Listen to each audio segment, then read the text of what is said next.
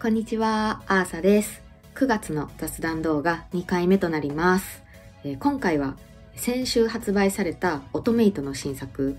トラブルマギアのプレイト中感想と、えー乙女ゲームの新情報発表、えーあと来週予定してる YouTube ライブ配信について、はい、もろもろ話そうかなと思っています。えまず、トラブルマギアプレイト中感想、ネタバレはほぼしないけど雰囲気とか伝わっちゃうと思うので一切情報を入れたくないって方はご注意ください。またコメント欄も今回はネタバレ厳禁でお願いします。私は今攻略何人か終わったところです。いつも通り良かったところと人によっては微妙かもなところを言っていきたいと思います。まず個人的に良かったところを3つ挙げます。1つ目明るい王道ファンタジー。イラストとかこうあらすじからこう感じられたけどもうねめちゃくちゃ王道。魔法学校にこう留学していろんなイベントや事件をこう仲間と一緒に乗り越える。そして成長する。みたいなねこう古き良き王道さがありました。なんか日朝の 爽やか王道アニメとこう深夜のアニメのわちゃわちゃしたノリが合わさったような感じ、うん、それでいて、えー魔法学校がこう舞台なんでいろんな魔法生物とかこう魔法具とかも出てきたりして王道展開の中にも想像を超えるようなファンタジーな世界が広がってたりもして夢中になってプレイしてました。全体的にこういろんな伏線がこう一本のお話にねつながっていくっていうのがねよくできてるなって思いました。2つ目甘さ結構あり。恋愛過程がめちゃくちゃ丁寧で好感度ゼロの状態からお互い意識しちゃう関係になってこう両思いになるっていうこうそれぞれのステージの描写がもうしっかりと描かれていてすごいねときめきました。思ったより恋愛シーンが多くて私は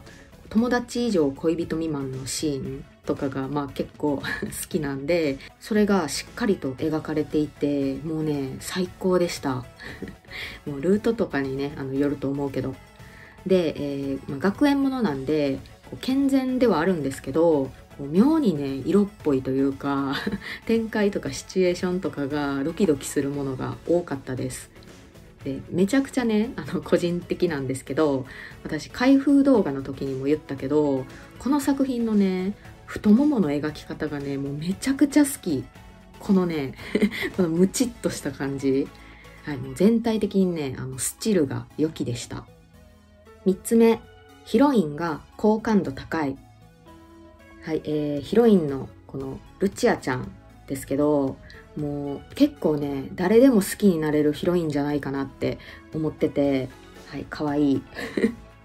もう見た目ねこうすごい可愛い感じやけどめちゃくちゃ頑張り屋でもう苦労人でこう一方で冷静なところもあってすごいね作品にこう入りやすかったです。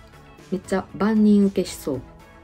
良かったところは以上で次人によっては微妙かもなところ、え2つ挙げます。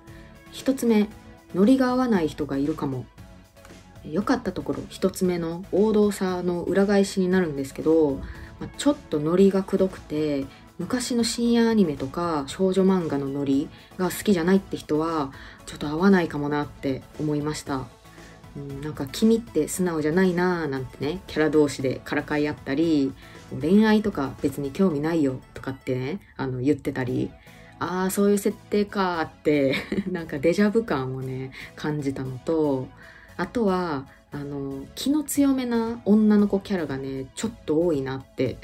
すごい出番がね多めなところはあの私個人的にね最初は不安になったし、まあ、ちょっとルートにもねよるかなって思いました。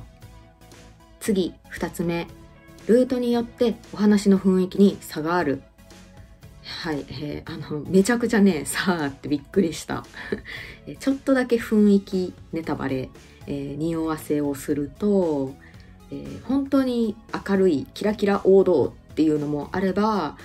ずっとしんどいみたいなシリアス強め なのもあったりしてこうルートによってね好みがねがっつり分かれると思うしこうまだ攻略してないキャラがねあのどんな感じなのかそれによって作品のイメージもねだいぶ変わりそうやなって思いました。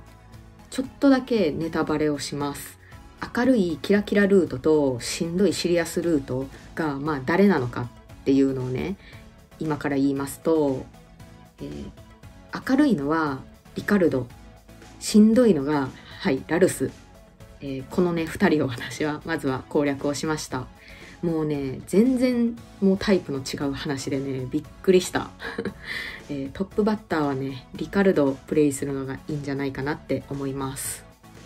えー、途中感想は以上です。えー、プレイ途中感想になるので、え最終的に意見は変わるかもしれないってことはご了承ください。またクリアしたらネタバレなしの感想とネタバレありの感想をね、アップ予定です。次、えー、乙女ゲーム新情報発表。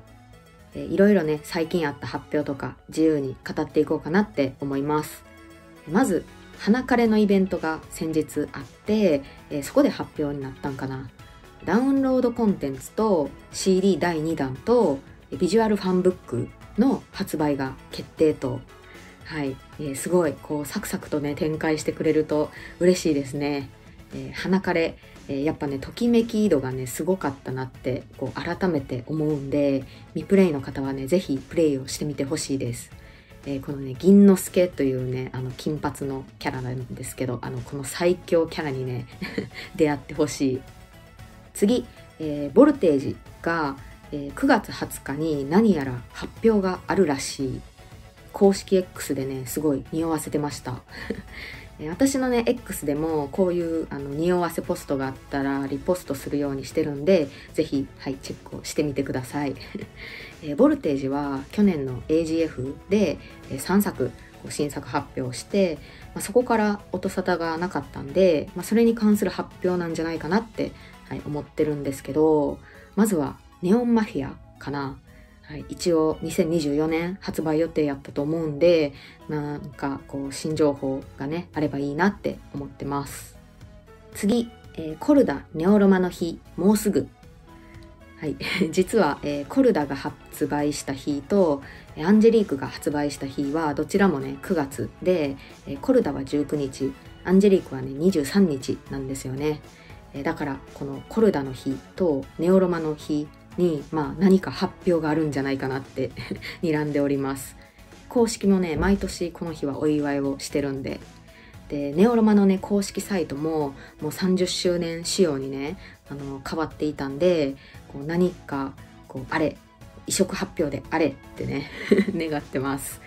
もし何か嬉しい発表があったら当日ねライブ配信を私はあの予定をしているのでそこでね、はい、祝賀会を 開催しましょう、えー、最後ライブ配信について、えー、以前のね購入品紹介の動画かなで、えーと、告知をしました、えー、初めての YouTube ライブ配信えー、予定通り9月23日月曜日、えー、夜9時から今のところ、えー、予定をしております。えー、特に何をするとかは決めてなくってもう自由に乙女ゲームについて語る予定です。で枠をねあの取ったら多分通知がいくんかな。はい、えー、チャンネル登録をねしてると通知いくと思うんで是非はいお待ちいただければと思います。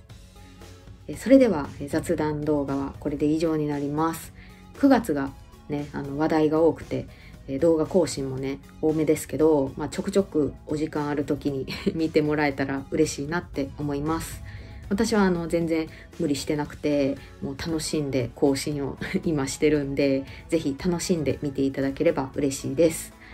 それではご視聴いただきありがとうございました。